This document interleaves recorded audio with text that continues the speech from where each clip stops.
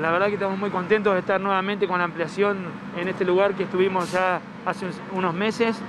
Esto da la posibilidad de incorporar nuevos puestos de trabajo, va de la mano con todo lo que venimos avanzando. Eh, van a poder acceder también a la ordenanza que tiene los beneficios tributarios que son de orden municipal y también bueno, poner en valor que es un empresario que sigue apostando a la zona.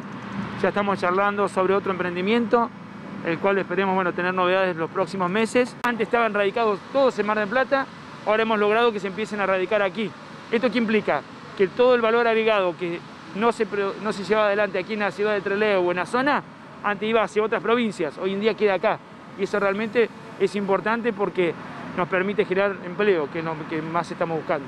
¿Cuándo se podría estar inaugurando esa planta de procesamiento del Choita? En el mes de octubre.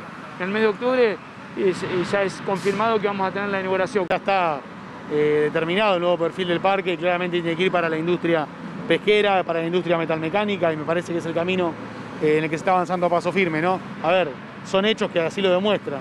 Eh, entonces, la verdad que creo que, se va encontrando de a poco eh, una, reconversión para, para, este parque que es tan importante para la provincia y para el valle. La idea es ampliar la producción en el 60% llegar a ser 1.600 cajones diarios, que ahora estamos haciendo 1.000 solamente. Yo he hablado mucho con, yo tengo muchos clientes, yo soy de Mar del Plata, hace 30 años que me dedico al negocio de la pesca, tengo muchos clientes de muchos años y siempre les planteo que, que se vengan, que se vengan porque es una cuestión lógica y la sostengo y la defiendo que el recurso está en la Patagonia, así que el pescado se tiene que procesar en la Patagonia, lo más lógico. Siempre estuvimos muy bien acompañados por, como decir, por Estado provincial y municipal, siempre. Desde el primer día que yo caí acá a averiguar por algún lugar donde poner la fábrica, donde instalarnos, siempre, siempre.